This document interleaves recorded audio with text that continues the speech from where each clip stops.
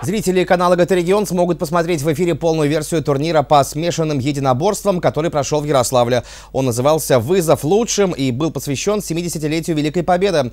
Восьмиугольники соревновались сильнейшие бойцы этого вида спорта, ставшего в Ярославле популярным. Смотрите турнир «Вызов лучшим» на канале ГТ Регион 30 мая в 20.30.